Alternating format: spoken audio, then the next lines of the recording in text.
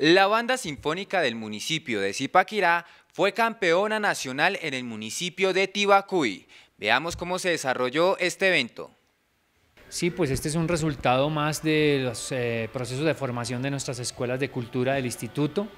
Eh, la banda sinfónica pues obtuvo la oportunidad desde Villeta de participar en este concurso nacional en Tibacuy y pues afortunadamente se cumplió gracias al apoyo de la gobernación del IDECUD y por supuesto del Instituto de Cultura, se cumplió esta cita allí y pues eh, se tuvo el primer lugar en banda sinfónica y también eh, se les dio un reconocimiento al mejor percusionista y a la mejor flauta del, certamen.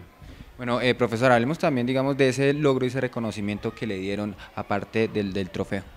Eh, por supuesto, el reconocimiento es para todos, empezando por su director, el maestro Germán Rusinki, todos los eh, formadores del área de banda, que son seis personas que nos colaboran, seis maestros, y por supuesto todos los estudiantes, todos los ciudadanos que hacen parte de la banda, que de una forma muy disciplinada eh, vienen fortaleciendo este proceso y por supuesto pues el, premio individual que es al instrumentista, a Daniel y a uno de sus flautistas pues es un logro ya, un reconocimiento a un trabajo, una disciplina particular de estos jóvenes. Bueno, eh, ¿se van a continuar con estos procesos? ¿Van a seguir, eh, van a seguir saliendo a concursos?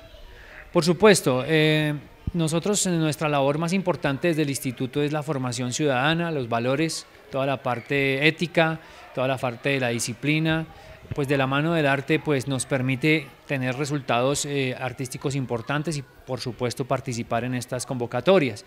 Eh, la escuela se sigue fortaleciendo, específicamente el área de bandas en este gobierno se fortaleció aún más. Tenemos ya procesos eh, que inician por la flauta dulce, por la orquesta ORF y la pre-banda ya existe, son los niños que están iniciando. Después viene la banda infantil, seguido viene pues esta banda juvenil y tenemos también la banda tradicional que también en algunos momentos de, de la historia de Zipaquirá ha participado y ha ganado algunos concursos también con eh, la música nuestra del folclore eh, de la costa sobre todo. Entonces continuaremos fortaleciendo, se ha hecho una inversión muy importante en compra de instrumentos, este año se dotaron los, uniformes, todo esto con el apoyo del señor alcalde quien ha, estado muy comprometido con el tema de la cultura en, en, la música, sobre todo en la banda, ahorita con el proceso de mil guitarras también, son procesos que se vienen fortaleciendo, el otro año tendremos 60 juntas de acción comunal en mil guitarras. Y todo pues gracias a ese compromiso y al apoyo que nos da la administración en cabeza del señor alcalde. Bueno, profesor, muchísimas gracias por estar aquí frente a las cámaras de Precus y felicitarlo por este gran logro que han hecho ustedes.